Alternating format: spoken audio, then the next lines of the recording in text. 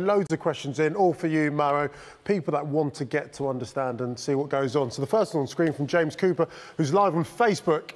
Maro, have you kept hold of Bill, and Bill being the mascot from the British and Irish Lions tour? Yeah, I have actually. Um, he's very safe at home. He's in my wardrobe at the moment. Um, he's uh, with the rest of my clothes, so he's uh, he's safely Grass protected. in there and stuff, from, so he's comfy, or is it just on top of your wardrobe? Uh, no, he's, he's actually in it. It's, I've, you know, it's, it's, there's a bit of room in there, so he's uh, there, comfortable. It's not no real, grass, Benny. It's not. It's not no real. grass, Yeah. He's probably a lot safer at home because on tour they try and sabotage you, right, and make sure that you lose it because there's fines associated to, Yeah, it was to losing stressful. Bill. I'm not even gonna lie, it was very stressful. Tougher than the games? Uh, not quite. Is it, is it like an Olympic torch? Does the same one go round, or do you keep that forever? So I I fortunately get to keep it. So um, Stuart Hall got to keep his, and I've I've made sure I've got to keep mine as well. So it's it's nice to have, um, you know, a good little bit of a memorabilia from the tour. Um, but yeah, got to keep it. Very good. Okay, we've got another question from Twitter from I'm a Realist. Um, Maro Itoje, how did the Lions camp differ from an England camp?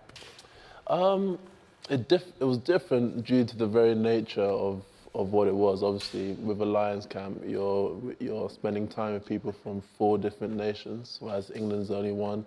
Um, so you obviously get these different kind of, like, you know, obviously dialects and trying to understand people.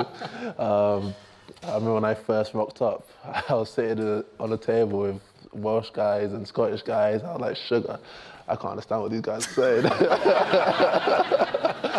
Is there, is there a difference? People talk about keeping the Lions' heritage of having a social tour, but also um, doing the professional side of things. Now, is there a difference there? Was was there a bit more opportunity to go out and let your hair down? Yeah, um, I, I, the, the Lions it was a, definitely a lot more um, loose than, uh, than, than what I was used to. But it was good, you know. We, we, we got to spend some time off the field with each other, you know. It's not, you know, to spend to go on a Lions tour to New Zealand is, you know, it's quite rare. So, all in all, it was a good experience. Just how wild? How wild did it get? Uh, it got Big very nights. wild after the last test. Really? it was uh, all all controlled up until then, but after that, last, yeah, it was it was. It was Go on, go on. Yeah. We'll save it for after. Got another question from Greg Miller Facebook. Um, Maro, so what's going through your head when New Zealand perform in The Haka? Um, so with the hack, obviously, it's it's, it's you know they it means a lot to New Zealand players, and you know, it's uh, for the All Blacks. It obviously gives them strength, has has a, lo- a whole load of spiritual meanings to that. But for me, obviously, I'm not from New Zealand. Um, I'm from here, and um, so I don't have the same connection they do to it. So for me, I watch it, try and be respectful, but ultimately it's what happens on the pitch that matters. The Haka essentially is a dancer then which gets them rived up. And he said you're not from here, but your roots and heritage is Nigeria. One thing I've seen, you- you're a super talented guy, do lots of things, but you can dance as well. Hey, this isn't a stitch up. It's more, I'm just seeking a bit of advice because we've seen the celebrations in the changing room where you're up and That's, that's, Can you can you help me? so, can, you, can you just stand up and just just What talk me through like what I need to do? Am, I- am I right in thinking you should start with this top off? So, so how does it go? am I gonna do this? Okay.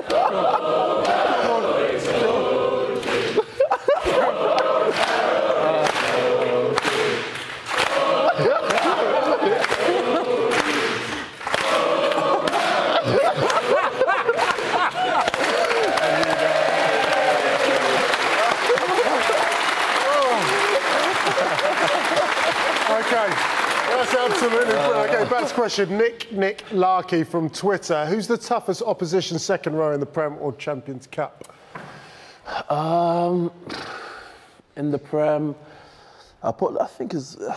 I think it has to be one of the you know other England locks. Obviously, I play with Cruiser for both club and country, so I don't have to go up against him. But I'll say Courtney and Joe. They're they're definitely um, you know two top class operators. And on the European level? European level. Um, they tend to be a bit bigger in Europe. They, uh, they, they tend to be, have a little bit more meat on them. So um, he, he was difficult last year. Um, phew, I don't even know. Didn't even notice them, you see. Didn't even notice them. Do you know, I noticed something about you, Maro, watching one of the matches on on the touchline last year, how vocal you are on the pitch. Do you realise you're even doing that? Yeah, I'm the one who's talking. No, but sometimes you're just shouting. Like so, it's, sometimes it's just this raw kind of energy coming from you. um, yeah. Funny because Craig talks a lot, but he doesn't know he's doing it. and I don't understand it. Yeah, um, you know, that's, I think it's something I, I actively try and do. You know, I try and you know give my team energy. Um, you know, first and foremost through my actions, but I think through your voice and through the way you speak to and in, influence others is another way you can do that. Absolutely. Okay, another question. Facebook, Ashley Shingler. If you could pack down of anyone past or present, who would it be? Ah, good question. Well, it's a bit present? brutal. You've not automatically answered that with Benny Kay just sat there. You're like, good question. Yeah, good question. um, past or present? In, in the in the row, I assume. Elvis Presley. Yeah. yeah, yeah, yeah. Uh, growing up, I was I was a big fan of the South African locks, um, Victor Matfield, ba- Bakkies Botha. Uh, you know, I, I really respected what what they did.